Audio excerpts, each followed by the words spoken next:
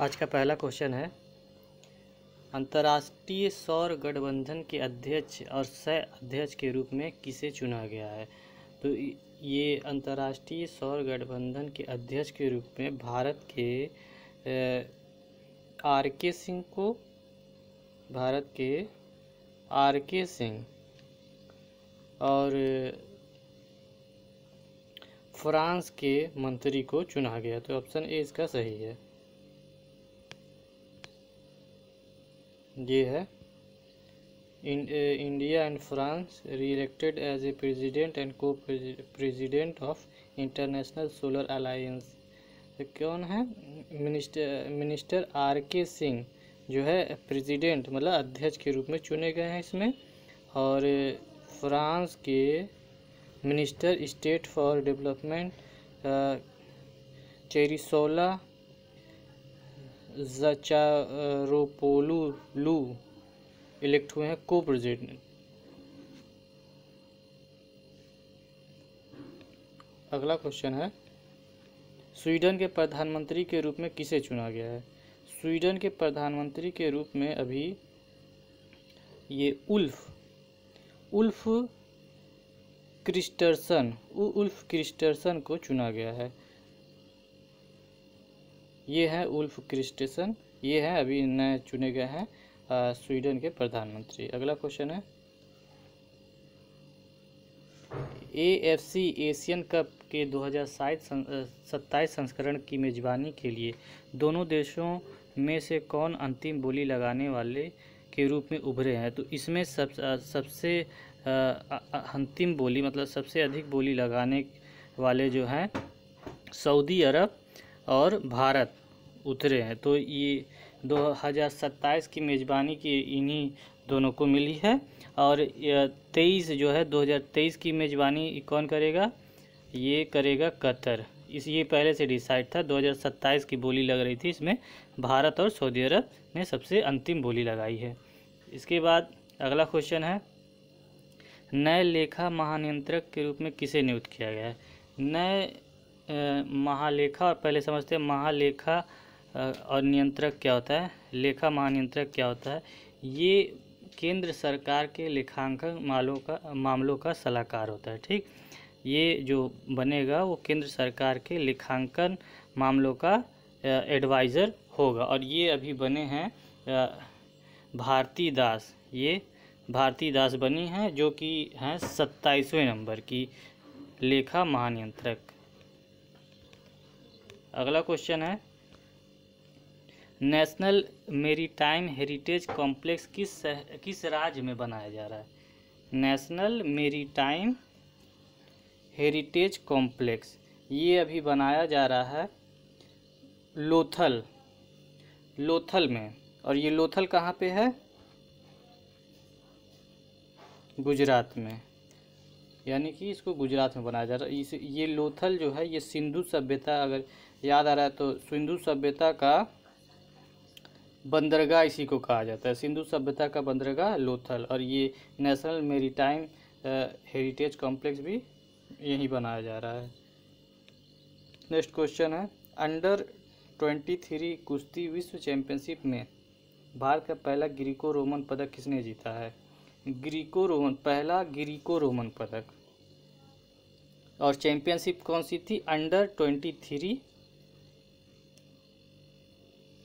under twenty three विश्व कुश्ती championship Bharat का पहला ग्रीको ग्रीको रोमन पदक जीता था साजन भानवाला ने, साजन भानवाला ने.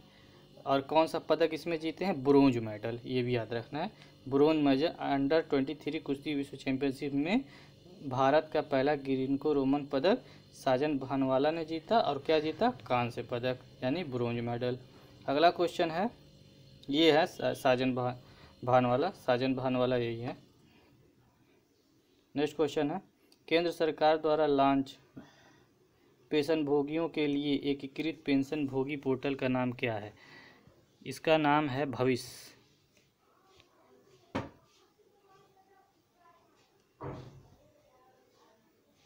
भविष्य नाम है। अगला क्वेश्चन है निम्न में से निम्न में से किसे एके एकेडेमिया एकेडेमिया एप्थोलॉजिकल इंटरनेशनल के सदस्य के रूप में चुना गया है। तो ये अभी डॉक्टर प्रशांत गर्ग, डॉक्टर प्रशांत गर्ग को चुना गया है और ये भारत के पाँचवें व्यक्ति हैं। भारत के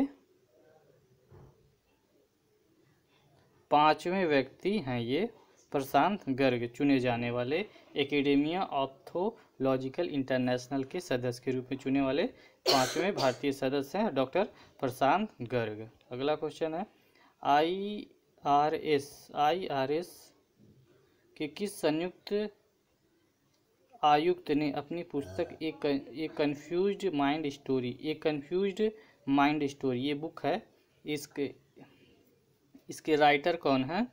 इसके राइटर है साहिल सेठ। साहिल सेठ, इसको याद रखना, एक कन्फ्यूज़ माइंड के राइटर कौन है? साहिल सेठ। नेक्स्ट क्वेश्चन है।